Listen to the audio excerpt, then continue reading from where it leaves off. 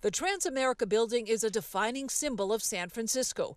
Built in 1972, its futuristic look quickly made it one of the most recognizable buildings in the world.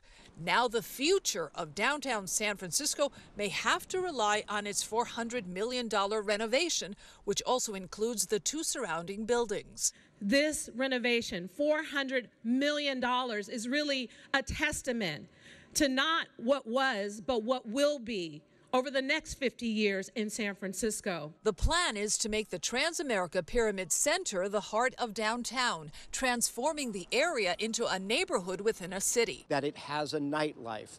Part of that is having attractive ground floor destinations, restaurants, uh, other visitor opportunities. And part of that is having a 24 hour presence of people who live there. The media, the pundits, the real estate professionals said San Francisco is dead. It will never come back. You lift the shovel, I guess? Michael Shvo didn't believe any of them and purchased the building during COVID. This is me and my sister actually here at the base of the building. His love for the Transamerica Pyramid began during a visit to San Francisco in 1979 when he was only seven years old.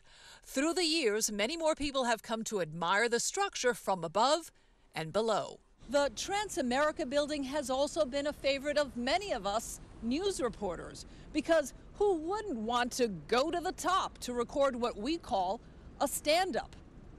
Notice how I'm not standing? That's me in 1999. Climbing 3,200 feet to the top of El Capitan is like climbing the Transamerica building in downtown San Francisco four times over. It's always been ahead of its time. The city has been ahead of its time. And together with the people of San Francisco, we will bring back downtown. The city hopes the building's new purpose will help redefine what urban living should look like. In San Francisco, Leanne Melendez, ABC 7 News.